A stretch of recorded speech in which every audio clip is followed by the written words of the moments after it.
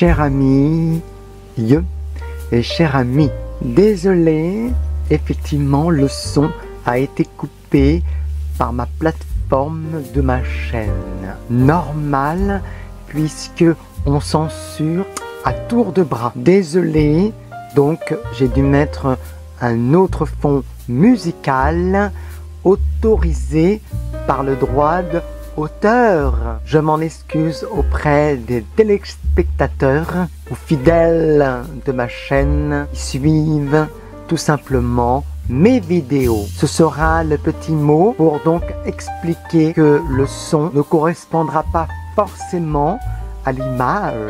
Merci de votre compréhension. À bientôt. JC Anthony.